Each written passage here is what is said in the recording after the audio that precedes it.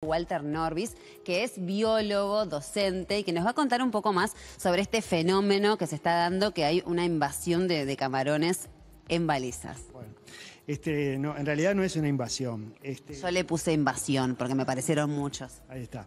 No, este, los camarones, esto que está ocurriendo actualmente en balizas es parte de su ciclo biológico. Los camarones, eh, particularmente esta especie que eh, se cría y se, o sea, se mete dentro de las lagunas costeras como poslarvas para criarse, este, tienen un ciclo biológico muy particular. Ellos ingresan a las lagunas costeras como poslarvas, eh, que son similar a un camarón, pero miden no más de 2 milímetros. Este, buscas que las barras estén abiertas para ingresar pero además para ingresar se tiene que dar un fenómeno bien particular, que es que exista algún temporal allá por noviembre, diciembre, para que ingresen con más facilidad a, las lagunas costeras para criarse. Eh, nosotros decimos que son, es una especie anfibiótica, ¿no? porque tiene una parte de su ciclo biológico en el mar y una parte de su ciclo biológico en las lagunas costeras, en nuestras lagunas costeras, que son unos ecosistemas fantásticos y que tenemos que cuidar mucho. Este, algunas de son áreas protegidas este, o paisajes protegidos, como es la Laguna de Rocha. En el caso de la Laguna de Castillos, o lo que está pasando este año, es que las lagunas costeras, como consecuencia de la seca, Garzón, eh, José Ignacio y Rocha, este, no se abrieron las barras en los meses previos, fines de octubre, noviembre, diciembre, como para que pudieran ingresar las poslarvas desde el mar hacia las lagunas. La laguna de Castillos tiene lo que denominamos el arroyo de balizas, que en realidad no es un arroyo, es un vertedero, ¿no? Este, hablando, digamos, rigurosamente, que, eh, digamos, vuelca el agua de la laguna hacia el mar y el, arroyo de balizas se mantuvo abierta la barra. Entonces eh, ya sabemos y, ya se sabía por parte de los pescadores artesanales que iba a ser una zafra muy buena porque ellos eh, chequean siempre este, si hay poslarvas o juveniles bien pequeñitos. Una vez que estas poslarvas ingresan a la laguna, tienen un crecimiento fantástico, porque ahí están protegidas, eh, tienen mucha alimentación, se alimentan de detritos y materia orgánica, y fíjense, ¿no? Eh, noviembre, diciembre la temperatura comienza a aumentar, enero, febrero, es cuando tienen el mayor crecimiento. Hasta fines de febrero, aproximadamente principios de marzo, que es cuando alcanzan un tamaño de mm, más o menos por decirlo, de 8 centímetros, pero lo importante es el peso, crecen más en peso que en tamaño, y ahí alcanzan entre 8 y 12 gramos, que es cuando comienzan a migrar hacia el mar. Y es cuando los pescadores los capturan, ellos usan unas trampas con unas luces en la parte final de la trampa y que las atraen y de esa manera las capturan. Entonces, esto es un aspecto importante que además eh, determina la regulación de la pesquería. Eh, el que crezcan a una velocidad en dos, cuatro, eh, perdón, en ocho semanas, ¿no? en dos meses, alcancen ese tamaño y se comienzan a mover además y buscan la salida al mar. Si las barras están cerradas, por ejemplo, eh, no pueden salir, pero siguen creciendo dentro de la laguna. Pero si en el caso del arroyo Balizas, que es lo que está pasando este año, la barra del arroyo o del vertedero, digamos, se mantuvo abierta, tiene poca agua y la gente, como yo vi en muchos videos que me mandaron conocidos y pescadores, accede con un calderín a capturar camarones, que es una especie muy codiciada, digamos. Y lo que para completar el ciclo biológico, después que empiezan la migración al mar y van al mar, siguen creciendo, allí maduran, fecundan y desoban en el mar, ¿no? Entonces, y ahí cierran su ciclo biológico. Este, y eh, la especie se llama Farfantopeneu paulensis este, y después, una vez que llegan al mar, eh, lo importante es que migran más al norte, inclusive en, aguas brasileras. Acá tenemos algún antecedente escaso de encontrar este, hembras de camarones, o sea, camaronas con huevos, este, pero muy escaso, ¿no? En nuestra eh, zona costera marítima, digamos, ¿no? Este, pero sí en Brasil hay antecedentes publicados por colegas, etcétera, en donde sabemos que allí hay camaronas con huevos. Walter, ¿y qué características especiales tiene el agua en el arroyo Balizas para que se produzca este fenómeno? Más que en el arroyo es en la laguna. No, es un, es, eh, estos ecosistemas que, son únicos, digamos, eh, interaccionan continuamente con el mar, son ecosistemas de agua salobre eh, y de altísima productividad biológica, ¿no? O sea, hay mucho fitoplancton, muchas plantas en el fondo, mucha materia orgánica y detritus, que es el alimento principal de estos camarones cuando son juveniles, ¿no? Ellos son, eh, a las poslarvas, que tienen esa característica de ser muy parecido al adulto, pero imagínate, no llegan a 2 milímetros, este, eh, digamos, se alimentan de detritus hasta que, eh, digamos, siguen creciendo, se transforman en juveniles, siguen comiendo, tienen muchísima disponibilidad de alimento en la laguna y temperatura.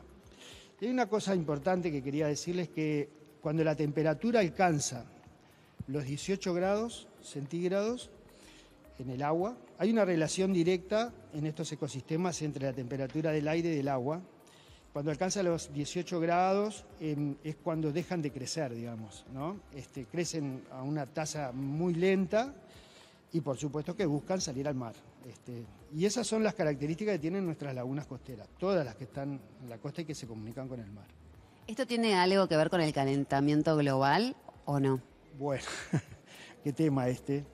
Este, hay un montón de antecedentes recientemente, inclusive publicados, este, por colegas oceanógrafos y biólogos, en donde hay sobre un montón de eh, organismos marinos un efecto del calentamiento que está eh, afectando parte del Atlántico Suroccidental. ¿no?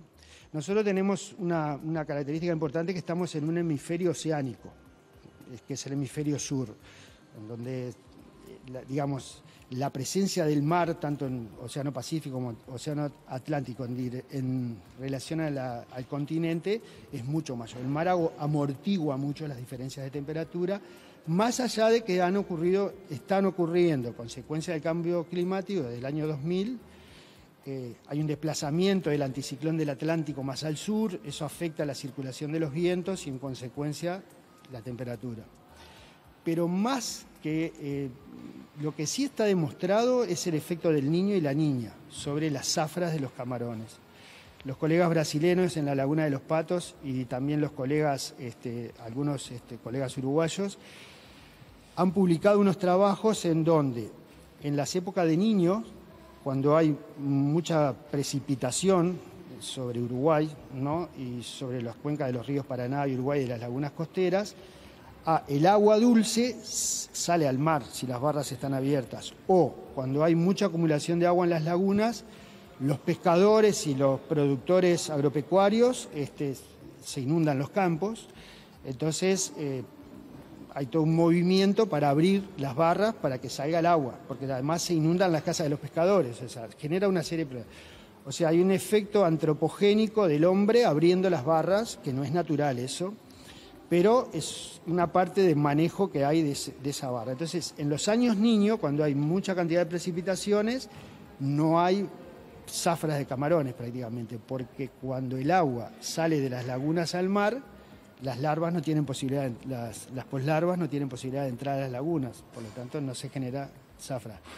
Y, eh, y cuando en los años niña, en cambio, si existe esa apertura de las barras, y algunos temporales, sobre todo del suroeste y del sur-sureste, que contribuyan a meter las poslarvas adentro de las lagunas y que se abran las barras, consecuencia del efecto del temporal, en un año niña hay varios, varios acontecimientos, eh, digamos, no solo hay menos disponibilidad de precipitaciones y en consecuencia efectos de, más de secas, este, y eh, si se logra entrar las poslarvas, además generalmente las barras no se abren y entonces se generan zafras importantes. Eso está demostrado, el efecto del niño y la niña. Y el efecto del cambio climático, tal vez exista más disponibilidad de poslarvas por ese desplazamiento más al sur que hay de la corriente de Brasil y del cambio de circulación de los vientos, que sí afecta, por supuesto, la circulación eh, superficial y costera, y eso seguramente afecte la disponibilidad de poslarvas en la entrada de las lagunas en las épocas de noviembre y diciembre. ¿no? Walter, ¿y cuál es el tamaño ideal para la pesca de los camarones? Cuando tienen, eh, los camarones eh, crecen mucho en ese periodo entre enero y febrero, en, en ocho semanas crecen mucho más en peso que en talla. Eso también está demostrado. Y cuando alcanzan alrededor de los 8 o 10 gramos es cuando ellos buscan, empiezan a migrar al mar. Y esa es la, digamos, es cuando también se ha tenido en cuenta para eh, abrir las zafras, ¿no? O sea, el peso del camarón este, para, digamos, abrir la pesquería, ¿no? Yo ahora no, no sé, no tengo muestras biológicas para saber el peso este, y la talla que tienen los camarones adentro de la laguna, que es donde se realiza la zafra, y estos que está saliendo, que por lo que vi parecerían, que- científicamente y rigurosamente hay que tener datos para aseverar eso. Y hay una gestión de la pesquería por parte de la Dirección Nacional de Recursos Acuáticos, que sí es, hay un monitoreo de las tallas y el peso, y eso hace que se genere la apertura de la zafra. Y bueno, si hay que esperar unos días, habrá que esperar unos días. Bueno, Walter, te agradezco mucho por estos minutos y por explicarnos este, tan claro este fenómeno que está sucediendo con los camarones. Bueno, muchas gracias. No, quería decir que eso es importante para mantener la sustentabilidad del recurso, ¿no? Este, esperar a que se llegue al peso adecuado para que se habilite la pesquería. Muchas gracias. Bueno, ahí teníamos entonces al biólogo Walter Norvis contándonos todo lo que está sucediendo con este fenómeno de, de los camarones en el arroyo de balizas. Muy bien, Nadia, nos vemos en un ratito.